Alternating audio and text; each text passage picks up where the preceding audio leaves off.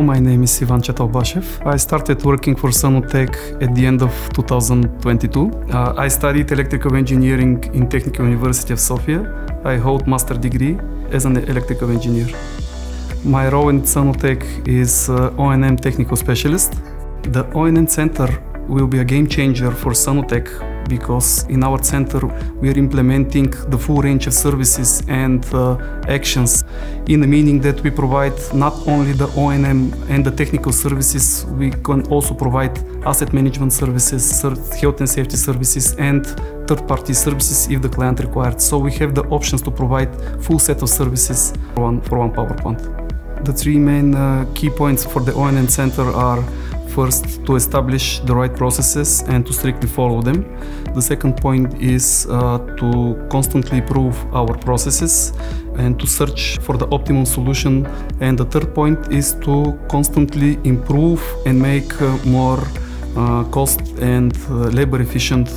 I measure the success of the O&M center by overseeing and analyzing the KPIs that we set up for our job and they're mostly related to the technical aspect of our job and to the health and safety of our people. For Dupnica project, uh, we are planning to have two engineers on site for people doing the common maintenance activities such as grass maintenance and trimming, module cleaning, uh, construction check and repainting and fixing.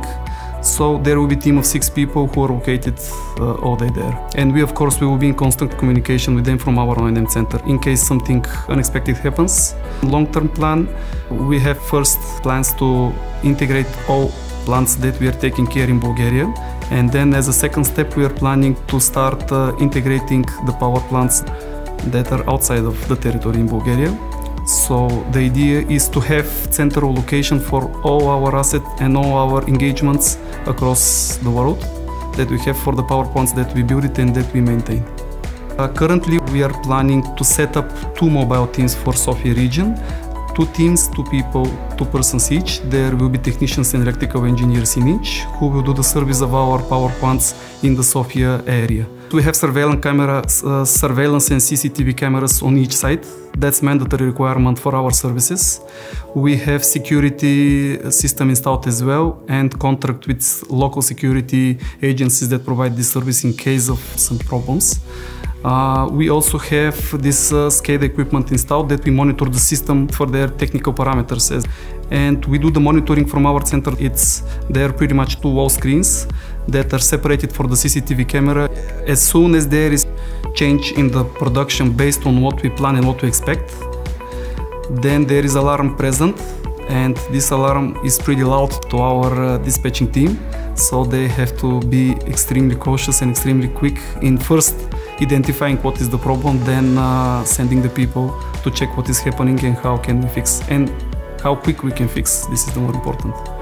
I joined just because I saw it as a perfect opportunity for me uh, to grow and to create the whole structure of the O&M center as I, as I see it. It was a challenge and uh, it was quite motivating for me to do it because I know in Bulgaria there is no such a structure incomplete for, for such services and know in six months or three months we will be we will be the leaders in Bulgaria.